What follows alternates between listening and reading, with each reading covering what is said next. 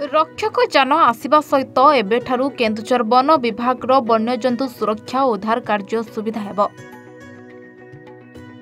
ଏହି ରକ୍ଷକ ଯାନରେ ଥିବା ବିଭିନ୍ନ ଅତ୍ୟାଧୁନିକ ଉପକରଣ ବନ୍ୟଜନ୍ତୁଙ୍କୁ ସୁବିଧାରେ ଉଦ୍ଧାର କରିବାରେ ସକ୍ଷମ ହୋଇପାରିବ ବୋଲି କେନ୍ଦୁଝର ବନଖଣ୍ଡ ଅଧିକାରୀ ଏଚ୍ଡି ଧନରାଜ କହିଛନ୍ତି।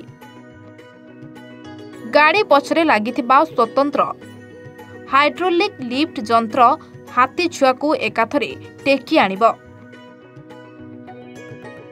ଏଥିରେ ଜେନେରେଟର ନେଟୱାର୍କ ନଥିବା ସ୍ଥାନରେ ୱାକି ଟକି ଦ୍ୱାରା ସମ୍ବନ୍ଧ ସ୍ଥାପନ କରାଯିବାର ବ୍ୟବସ୍ଥା ରହିଛି।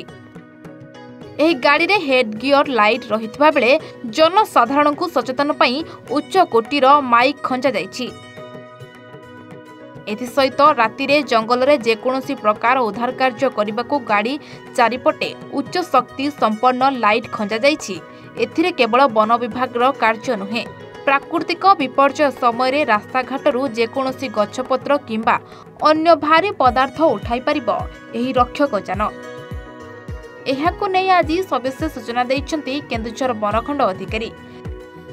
ତେବେ ଏହି ଗାଡ଼ିରେ ବିଶେଷ କରି ଗାଈ ଗୋରୁ ଷଣ୍ଢ ଦୁର୍ଘଟଣାର ଶିକାର ହୋଇ ପ୍ରତିଦିନ ପଡ଼ୁଛନ୍ତି। ସେମାନଙ୍କୁ ଉଦ୍ଧାର କରି ପଶୁ ଡାକ୍ତରଖାନାକୁ ନେଇପାରିବା ବ୍ୟବସ୍ଥା କରିବାକୁ ଲୋକେ କହିଛନ୍ତି। ଉଲ୍ଲେଖଯୋଗ୍ୟ କି କେନ୍ଦୁଝର ଜିଲ୍ଲାରେ ହଜାର ହଜାର ଟ୍ରକ୍ ଚଳାଚଳ ଲାଗି ଗାଈ ଗୋରୁ ଦୁର୍ଘଟଣାଗ୍ରସ୍ତ ହେଉଛନ୍ତି। କେନ୍ଦୁଝର ସହରରେ କେନ୍ଦୁଝରଗଡ଼ ନଗରପାଳିକା ଏସବୁ ଆହତ ଜୀବଜନ୍ତୁଙ୍କ ଚିକିତ୍ସା ବଦଳରେ ଆହତ ଅବସ୍ଥାରେ ଜୀବନ୍ତ ଫିଙ୍ଗି ଦିଆଯାଉଛି ମରିବାକୁ। ଏପରିକି କେନ୍ଦୁଝର ସହର ପଶୁ ଡାକ୍ତରଖାନାରେ ଗୁରୁତର ଆହତ ଜୀବଙ୍କ ଚିକିତ୍ସା ଲାଗି କିଛି ବ୍ୟବସ୍ଥା ନାହିଁ।